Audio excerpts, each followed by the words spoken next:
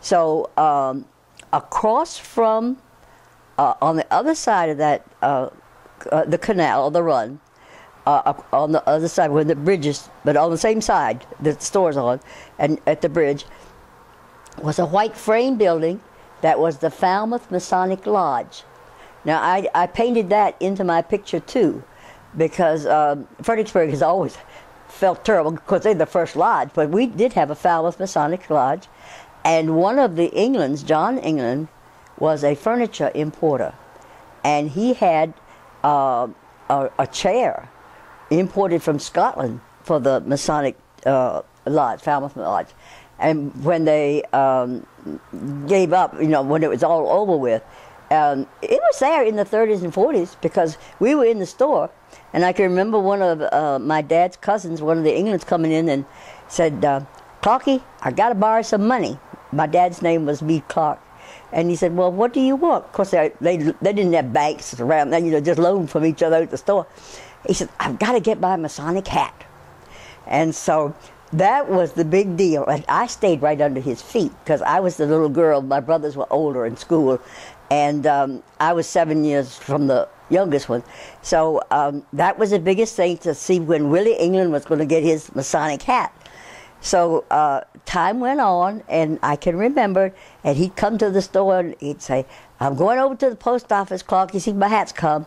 All right, Daddy said, and he had given him the money, you know, to get it. So they, uh, he came, and I do remember that going to his funeral, which is up at the uh, Union Church that's still there in the Brooks, uh, uh, well, it's adjoining the Brooks part uh, because he was in England.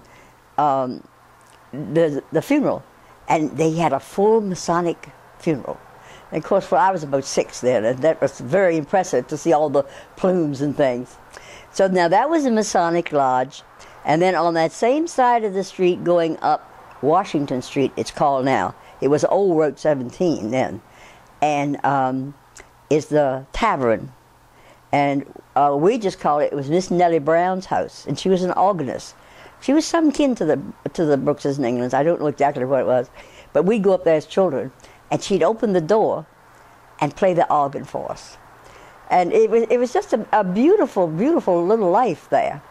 So then, um, when you cross the street uh, after the tavern and crossing there, the Fritters lived there. They were um, a family that came in there. And I think they were German extraction. And then coming on down was the, the Robinsons, uh, which uh, Miss Gertie was a Brooks, and she was a teacher. Her sister was a nurse.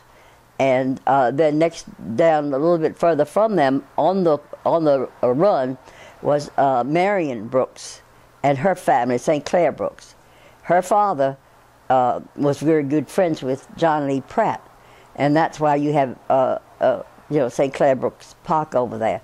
But anyway, he lived there just as one of the uh, the regular people, and then um, when we crossed back to the bridge, uh, there's a stone structure there now, which was Gari Melchers' studio.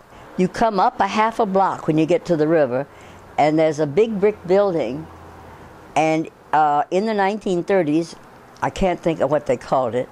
Um, they had a, always had a restaurant in there, and then they in the 40s they named it Ye Old Eating House. I love that one, and it was Ye Old Eating Place. And during the the war and everything, I mean, it was really something. All those young servicemen, all, all the local boys, all you all went to Ye Old Eating Place to dance, to eat, to whatever, drink, whatever you were going to do. So uh, then that's right there bordering the river. And then there was a bridge there. So that bridge was wiped out in a flood. And so um, that's why the new bridge is above the village. So, but when uh, when uh, this happened, this uh, 1930s recollection, um, the bridge was there, and when you walked over to that side of the street, there's another big building, and it was called uh, Leitner's Ice Cream Parlor, and Miss Leslie Lightner had the ice cream and a little small tea shop.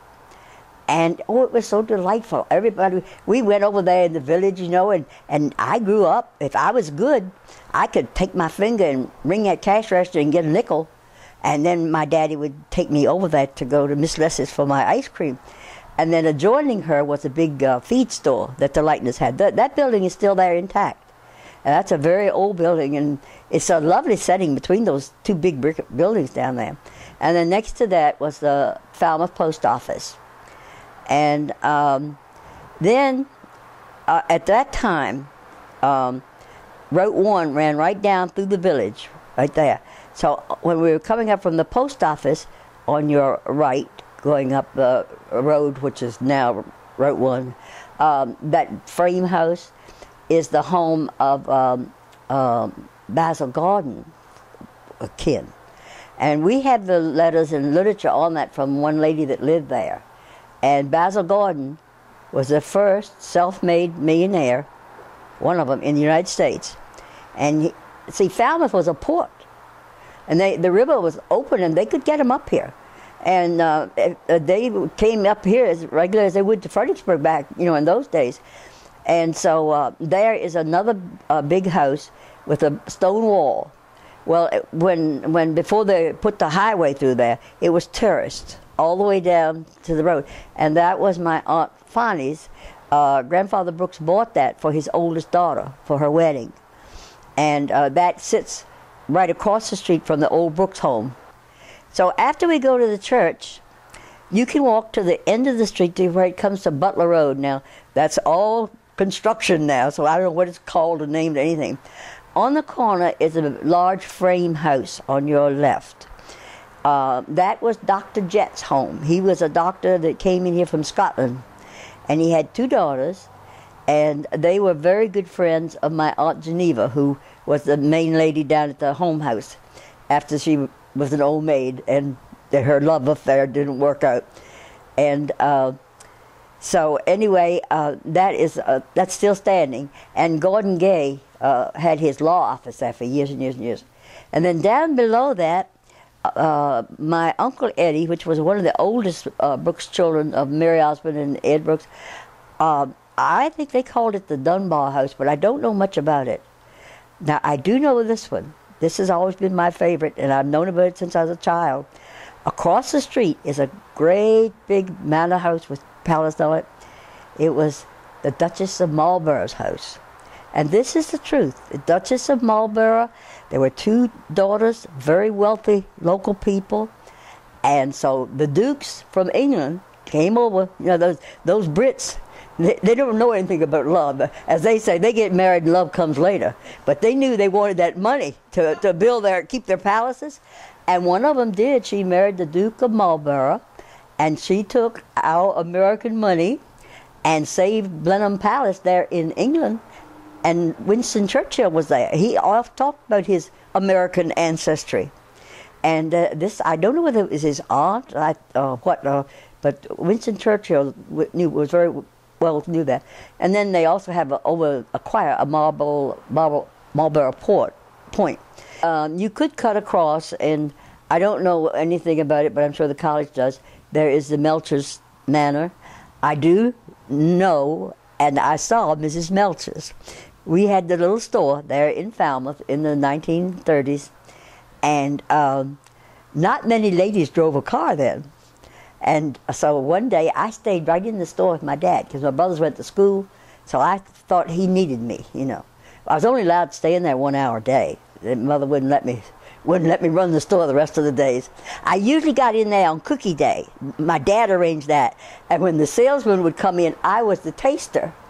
And if the cookies didn't taste good, I, he wouldn't buy them. So the salesman just butted up to me all the time. So uh, anyway, uh, I was up there one day and uh, this big station wagon came down and a lady was driving it. And she came in to the store. So they, and uh, Dad knew her, and it was Mrs. Melchers. Now, Mr. Melchers uh, painted, you know, all around, and the house that I talked about being uh, on Cambridge Street, across from the Brooks house, had the big plum tree and all that in a lot of his paintings, and he would come there, and he he he was very fond of the Brooks family, and and they liked the paintings and all, and so. Um, that's about all I, know, but the, the college is doing a beautiful job on, on that house.